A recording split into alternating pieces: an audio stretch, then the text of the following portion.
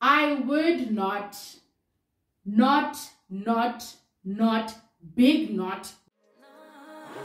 Just another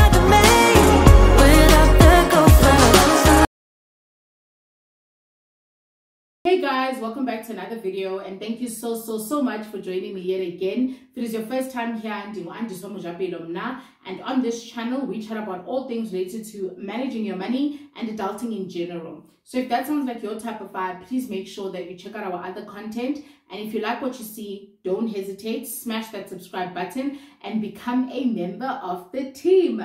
Today we are doing episode two of What Would Andi Do? Now, for the benefit of those who don't know, What Would Andi Do is a segment that we have on the channel where you guys send me your real life money scenarios and in exchange I come on here and I tell you what I would do in your shoes. But the most important thing for me, and I love it because we got that out of episode one, is that we learn from each other's experiences, that we leverage off each other's experiences, and most importantly, that we realize that we're not alone. Sometimes it feels like you're the only one who has a specific problem or who's struggling to make a specific decision but then you find out that oh my word there are actually other people who are going through the same thing. And for me this is the main point of this whole segment either than sharing my thoughts with those who would like to hear them. Okay without wasting any more time let's get straight into the list. The first one is what would andi do? I have a property that i'm renting out and the expenses to maintain it are more than the rental income now due to the interest rates. Would andi sell or keep her property now, guys, this is a very touchy one, and I'm glad that I'm being asked to answer it from exactly what I would do as opposed to give advice, right? Because we tend to have very sentimental attachment to our properties, whether it's a residential property or an investment property. The first thing is, and the honest truth is that I would hesitate to sell my property with my dear life. And I would look at every possible option, every sacrifice, every compromise, every doubt. Like I would look at everything else. Like, can I downgrade my car? Can I sell my car? Can I spend less on entertainment? Can I cut my travel budget? Can I, um, you know, live, you know, below my means even more by cutting certain luxuries? I would do everything I can before I sell my property. And the reason for that is with long-term investments like a property when you sell under duress or under pressure you usually you know take the first thing that comes up to mind and then you end up making a huge loss. So i would hesitate to sell my property and i'd look at all of the things that i've just mentioned to find out if i can increase my disposable income and be able to fit the shortfall that um she is referring to. So that's the first thing the second thing I would do is if I am renting where I'm at, and this is an investment property, but I'm already renting, I would strongly consider moving back into my property and maybe using the rent money towards the bond. And then I am basically paying for my own shortfall and not necessarily paying the tenant's shortfall as well as my rent. Or maybe I'm living at home, but I'm contributing towards the expenses. That money could go towards the bond.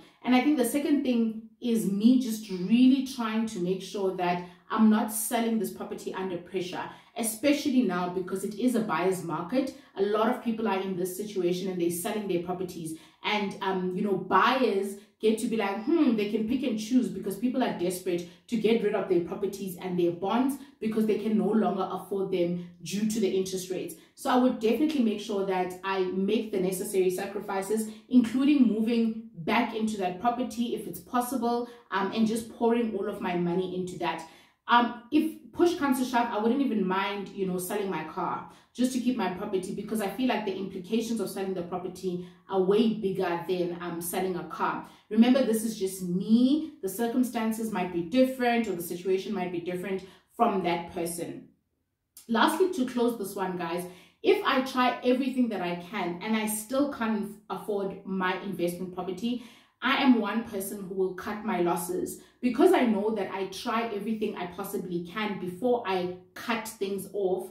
I am very happy to let go when the time comes to let go. One thing I'm not going to do is drink water, not have any food to eat, struggle, not be happy, be super uncomfortable, get into debt, all because I'm trying to hold on to my investment property. So if I try one and two and none of those options can get me out of the situation, I definitely wouldn't mind getting rid of the property if it means a positive impact on my cash flow as well as my budget. I once did a how to get rich recap series where one of these ladies was literally having a cold water shower every single day because she couldn't afford a plumber to pay for a plumber and she couldn't afford the property itself and she honestly like enjoyed all of that just to keep her property that is not me when it's time to let go i will let go but this will definitely be a last resort the second one goes I am living at home and considering taking advantage of the buyer's market situation right now and using the money I spend traveling to work because it's a lot to get a bond on an apartment for myself. What would Andi do in this situation?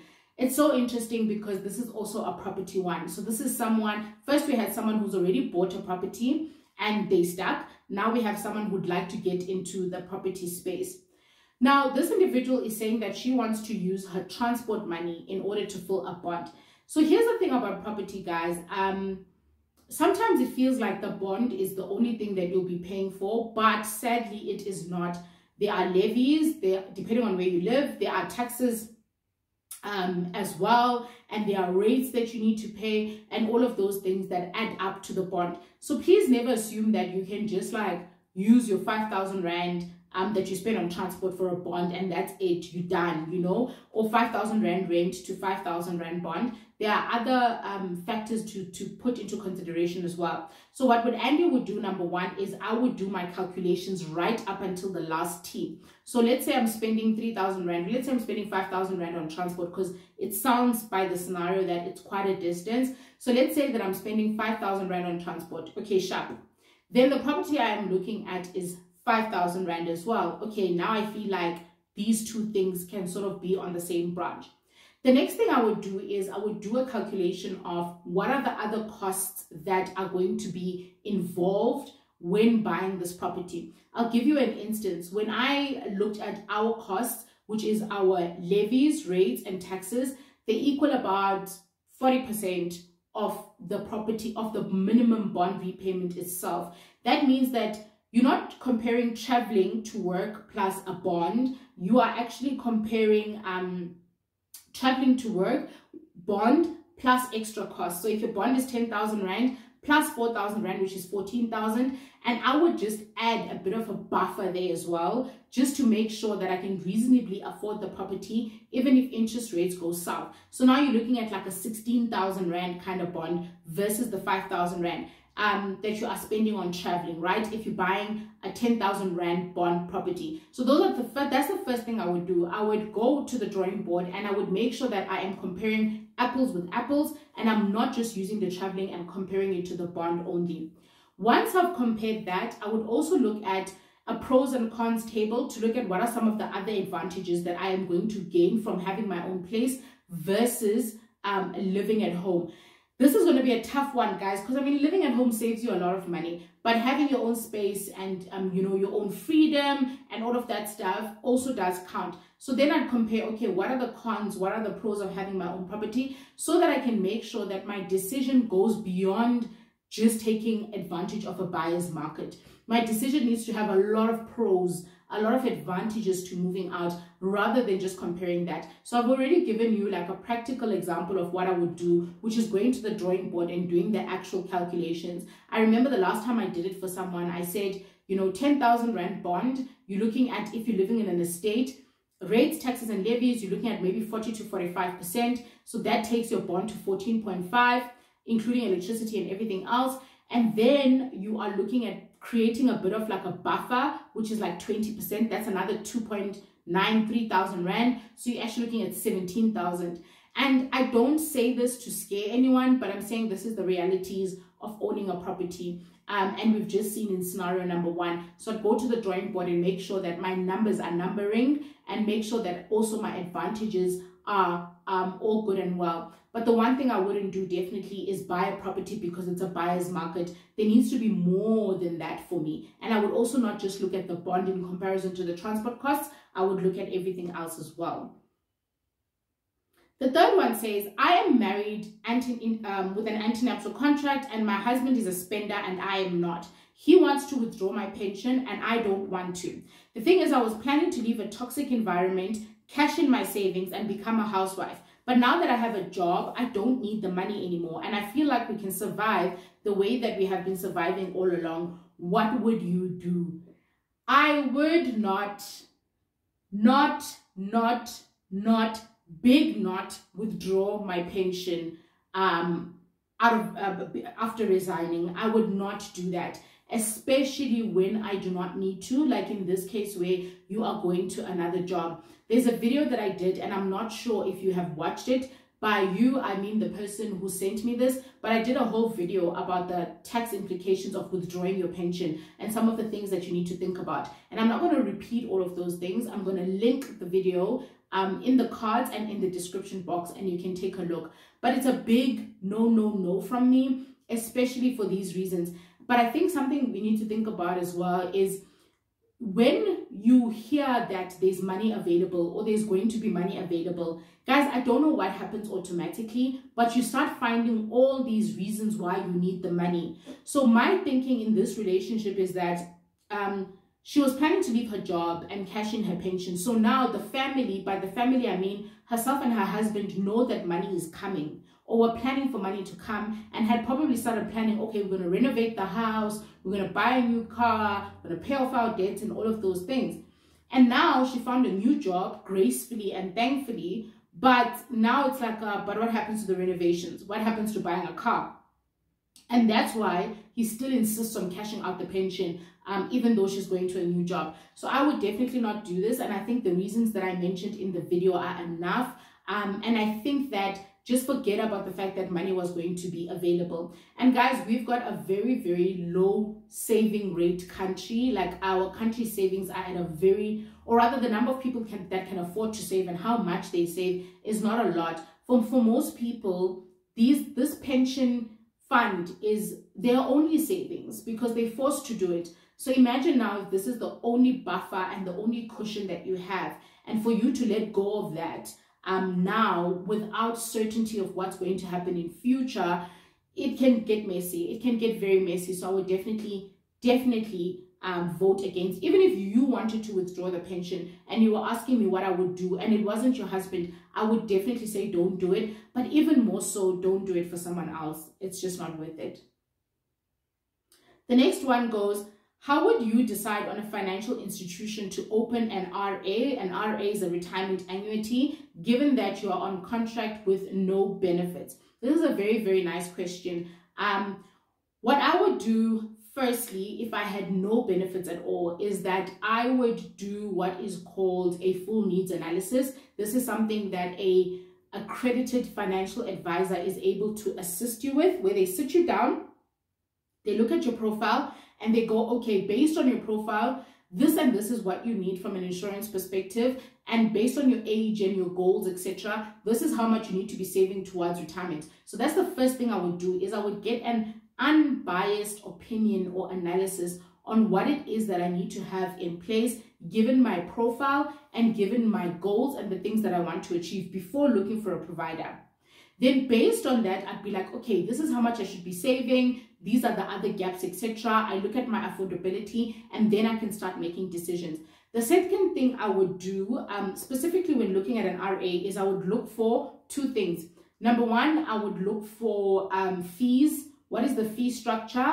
So there's many different providers that provide retirement annuities. And for me because this is like a if i look at myself it's like a 30 year plus um, you know investment. You want to make sure that your fees are at the bare minimum it's very important, guys, as important as growth because I mean, 4% might sound small or 2% might sound small in terms of fees until you're paying that for the next 30 years. Then you're going to feel it and it's going to eat away at your returns. So the first thing I would look at um, is I would look at getting a comparison from different providers based on fees.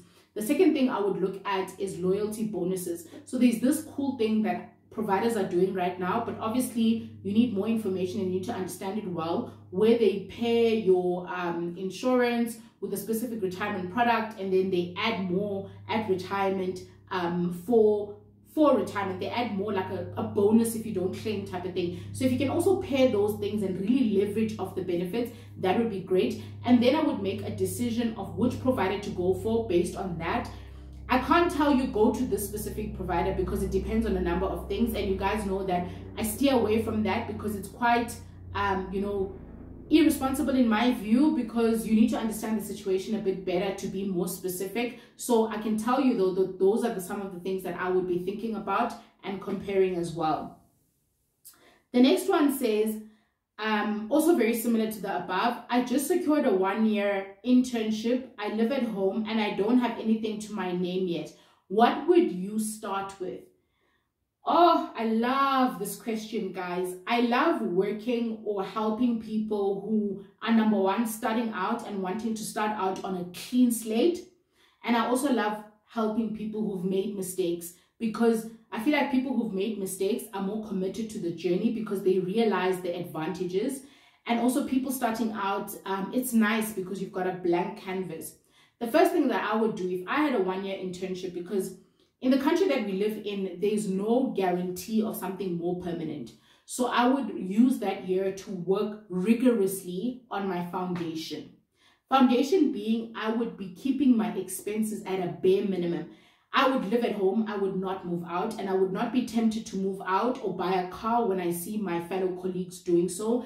I would keep my expenses at a minimum because remember, you are in a i'm in a one year this is me the situation. I'm in a one year internship. I don't want to make any commitments that are that are going to tie me down beyond this year. So live at home don't buy a car.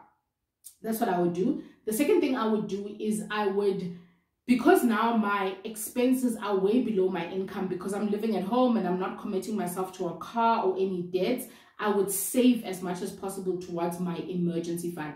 Just a simple savings account um, that I'm going to put money away to. I would do that as soon as possible and I would make sure that I build up that a lot so that if it so happens, God forbid, that I don't secure permanent employment, I've got that savings fund that, you know, I can use to sustain myself for a couple of months and also to look for a job, guys, because looking for a job is expensive. It requires data, sometimes transport. You need to buy clothes for interviews and all of those things. So I would live for that year. Um, if you have kids and other responsibilities, it's a bit different because there's certain things you might want to look after. But if you are single like this person living at home, I definitely live below my means. Don't buy a car. I wouldn't buy, um, I wouldn't move out of home. I'd save a hell of a lot of money in the savings account and make sure that I've got a good buffer. And then when I start working permanently, then there are certain things, or when my contract gets renewed for a longer period, then I can start considering other things that I can add on to that as well. Then um, number six says, um, and I think this is the last one. If Andi had a bit of money left over every single month, where would she invest it? Hmm. This sounds like a question um, instead of a statement. So anyway, if I had a bit of money in my hands right now and it was money that I could invest, I would definitely contribute it towards my tax-free investment. That's where my focus is right now. It is in maximizing my tax-free investment every single year and making sure that it's at a maximum. I feel like number one, I like I would do that with my extra money because I've already chosen a few um, you know, ETFs and funds that I have in my tax-free investment that are doing really well. So I don't have to think about where to invest. I can just fund one of those um, um, investments that I have in my tax-free investment. The second thing is I feel like a tax-free is relatively safer than um, single stocks like equities and shares and stuff like that uh, because it's ETFs, so the risk is diversified and I don't have to think a lot about it. Guys, someone once said that investment should be the most boring thing that you do, and I completely agree with that. And a lot of people always want to actively invest every day and buy in and out and all of that stuff. I am not a fan of that. I want to choose a couple of stocks. I want to commit to them for the long term and then put my money there. So um yeah, that is what I would do in terms of like which stocks, etc that's something that I could maybe discuss in our uh, meetups for the member channel with the members where I can go a bit deeper. The reason for that is because I always want to create enough context before I name a specific investment or a specific stock because I don't want people to be irresponsible with their money. And I always feel like with these videos, there's just not enough time or I don't have um, enough context to lay the foundation and really start. And um, yeah, so that's something or conversation that I can have uh, with the members because that'll be more interactive and our sessions are going to be like speaking to each other and asking each other questions versus just uh, me preaching to you in one direction. But those are some of the things I would definitely put it in my tax-free investment and in one of the stocks that I already have in my tax-free investment, that is what I would do. The tax benefits of having a tax-free investment are insane, especially if I'm looking to invest this money for the long term. So I think that's definitely the space that I would go into. Guys, thank you so much um, for watching today's episode. If you did enjoy it, please make sure that you give it a huge thumbs up. And if you haven't done so, consider subscribing before you leave so I can see you in the next video. Bye.